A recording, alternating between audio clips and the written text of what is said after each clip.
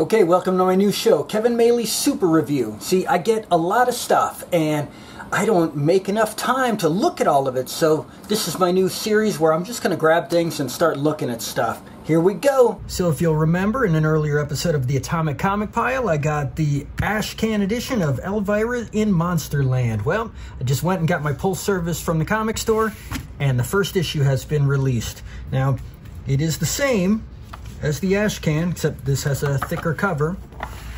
And you've got a little bit of difference here.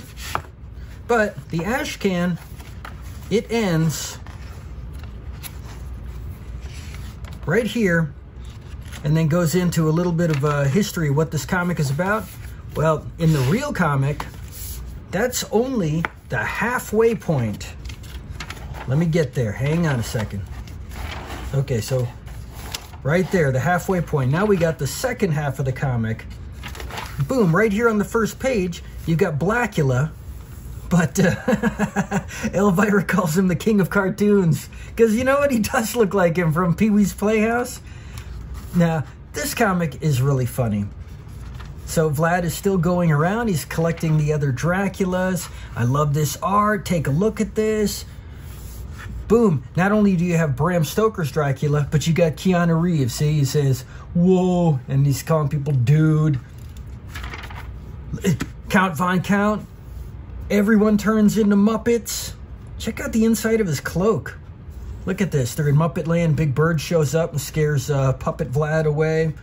Boom. Then it ends. They, uh, Elvira jumps into a black and white movie. Take a look. You recognize this scene? I did right away. I knew what was coming up.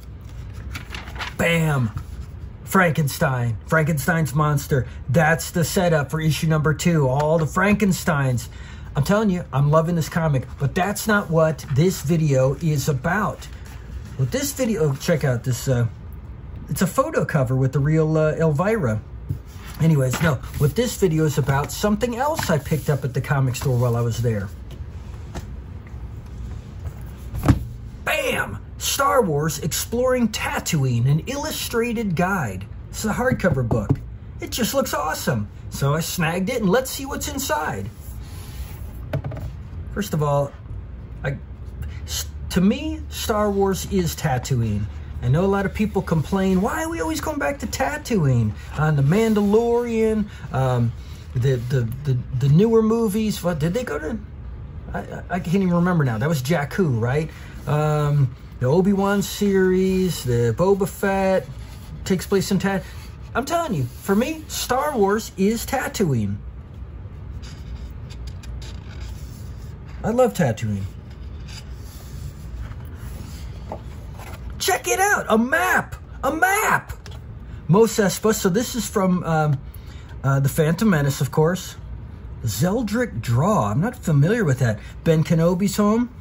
Um, as you can see, that is, uh, that, that looks like the original Ben Kenobi home before they changed it for the special edition.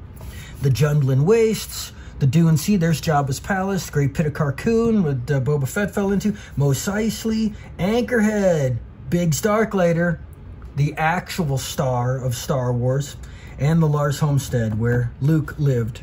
Look, this is where they all are, right? I actually have a, an atlas of Star Wars hardcover book, and it's uh, it shows where all of these areas are, plus more, and uh, you can shows how to get to each of them. But this is nice. This is nice. Look, more of this. The Jundland Way, so it tells you all about it. Ezra, so, uh, you know, I, I, haven't watched that cartoon, so I'm not familiar with the character, but they're going to bring the live-action version of him out in uh, the new Ahsoka show, I believe. So I'll become familiar. Here we go. Now that's the special edition version of, uh... No, you know what? It's not. Ah, forget me. I'm, I'm getting confused. Darth Maul and Obi-Wan on Tatooine. Must have been in one of the cartoons. Check it out. So that's where Luke was when he was looking for R2 and he gets ambushed by the Sand People, Tusken Raiders, and rescued by Ben. It was in the Jundland Wastes. Ah, here we go, the Lars Homestead. Not Lars from Metallica. This is Owen and Beru Lars. Check this out.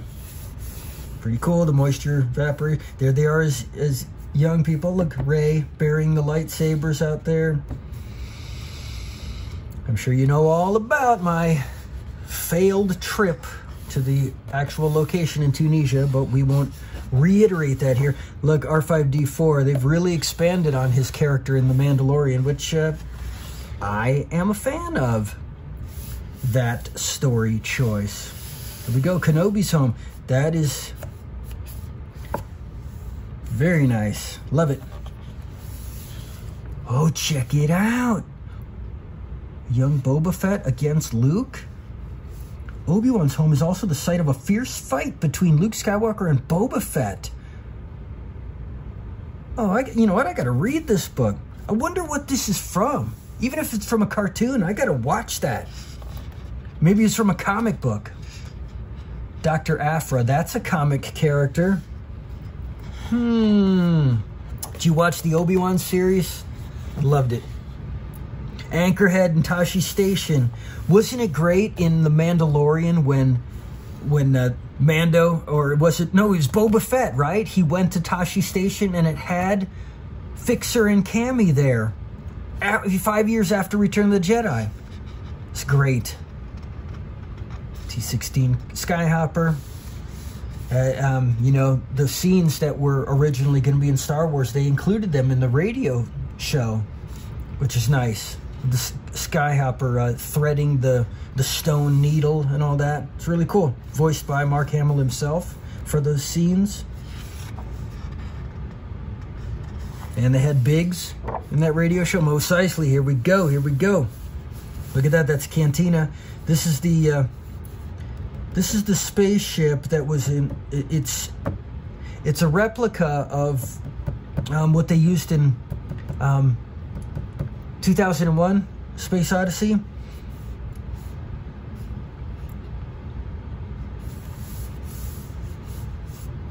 Ronto. So here's special edition stuff. You know who's in the costume here of this stormtrooper that's that gets uh, mind tricked by Obi-Wan?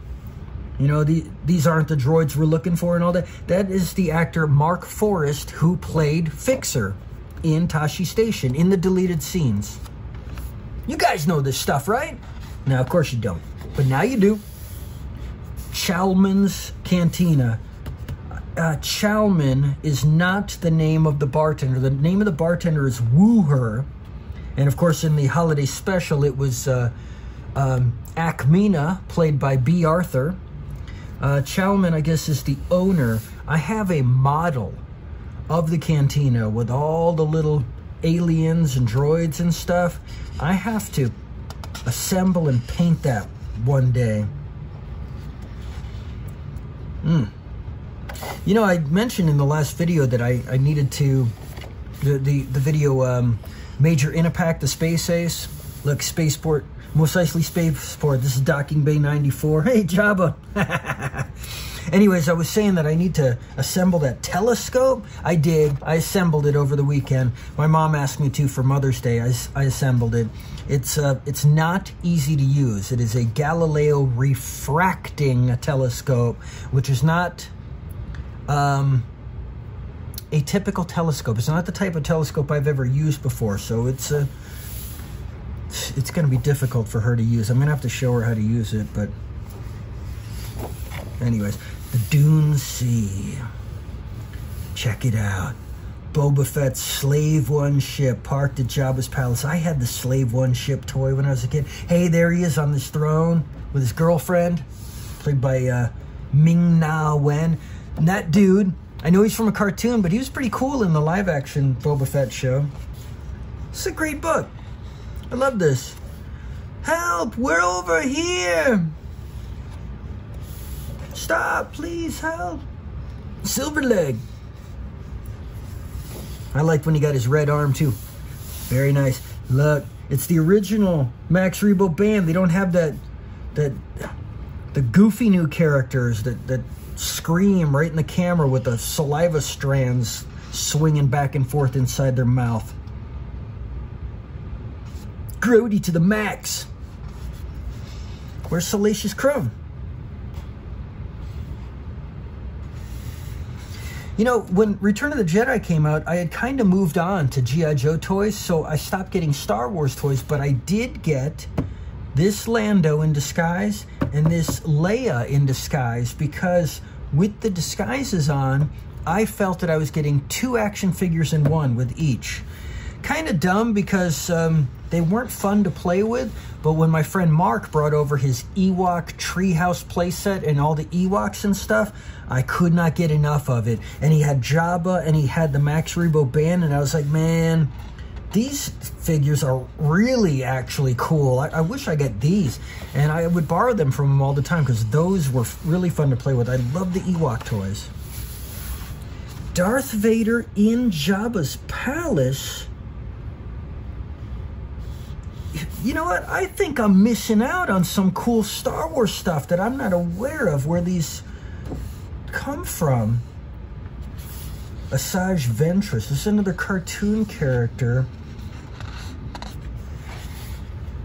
I love the Jawa sandcrawler scenes in uh, the first season of The Mandalorian.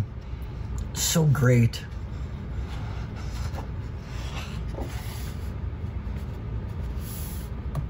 There's that guy that was wearing Boba Fett's armor.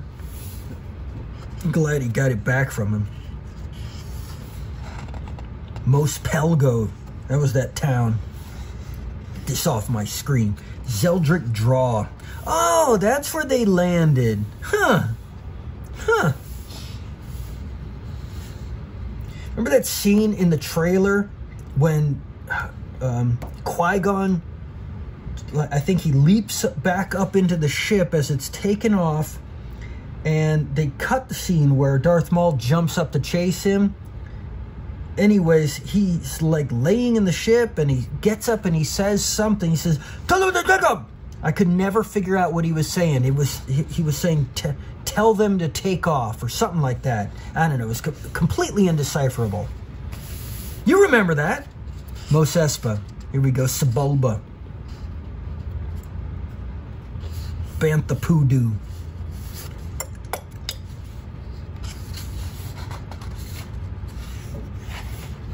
Watto's Junk, Junk Shop. I did enjoy The Phantom Menace when it came out. I, I saw it in its first showing, midnight showing. I read the novel a week before the movie came out. Um, I went back and watched the movie in the theater a couple of times that opening weekend. Really did like it.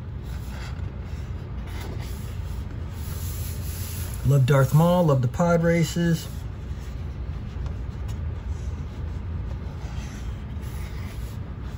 This is great. There he is.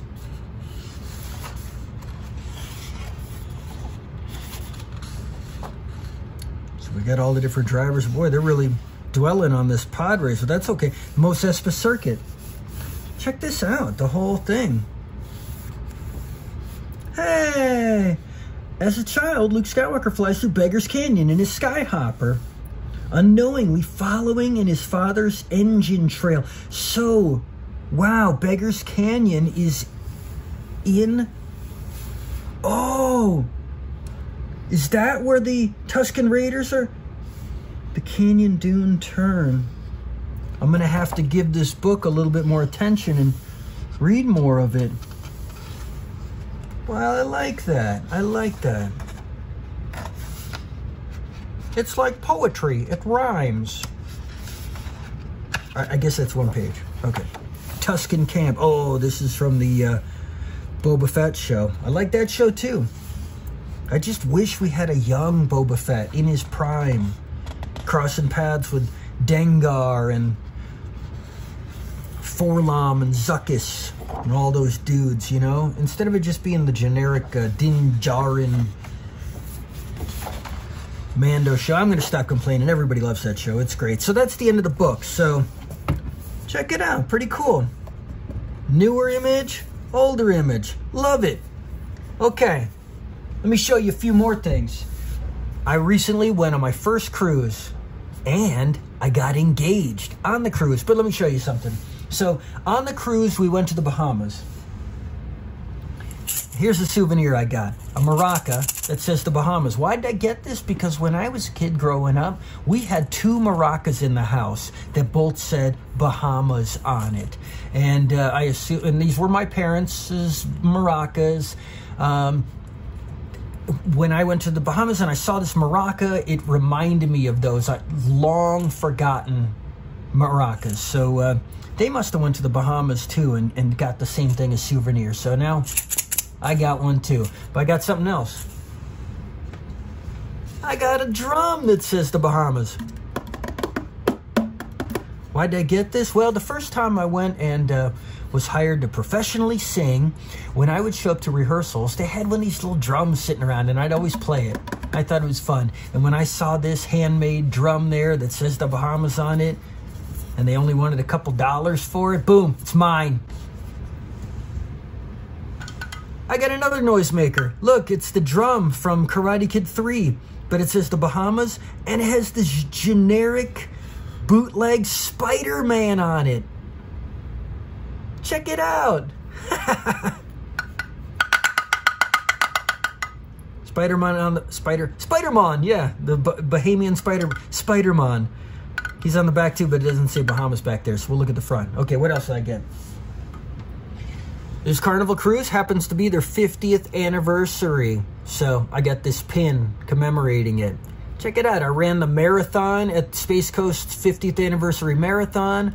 I saw the Monkees and Gordon Lightfoot both on their 50th anniversary tour. And my first cruise happens to be on Carnival Cruise's 50th anniversary. And in 11 months, I'll be 50. So I took a bunch of pictures. I took 400 pictures and videos, in fact. Uh, but uh, I also, there were professional photographers everywhere taking our photos, and I bought all of them from them. And not only did I get them and put them in a special uh, um, uh, photo album, I couldn't remember the words. Um, I also got them put on a, a USB for me, and this is a USB port, but not a port. It's a USB drive, a thumb drive, thumb drive. Um, that's what it is, thumb drive. As the ship, how cool is that? Carnival! Also, I collect magnets. So, I got this cool refrigerator magnet. The Bahamas, all the islands, got pirates. Reminds me of my Sunken Treasure comic. Um, oh, speaking of which, I uh, uh, when I did my Trader Brandon episode, I talked about all the the stuff I was inspired to to to put one day into my new Sunken Treasure comic.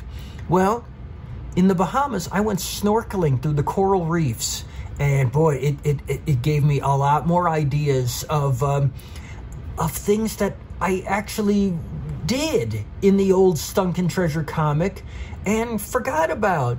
All the snorkeling, the, the corals, the pirate stuff. Everything was about pirates. And uh, the Bahamas were full of this stuff. So I'm, I'm really jazzed about making that comic. I, I need to get on it. And one last thing. They gave my fiance this uh, souvenir uh, for free. Threw it in with some gifts and she gave it to me. It is a uh, little keychain surfboard. Says Nassau, the Bahamas, where they went. Now, when I saw Point Break in the theater in 1991, I decided right then and there, one day I would have to become a skydiving surfer. I'm not, I'm not going to become a bank robber, or and I'm not going to dress as a president or an ex-president, but what was it, last year? Last year I went skydiving. Kirk Hammett of Metallica, he took up surfing when he turned 50. I turn 50 next year. Um, we're going to get married in Hawaii. And uh, while I'm there, I'm going to go surfing. I'm telling you right now. So there we go. Until next time.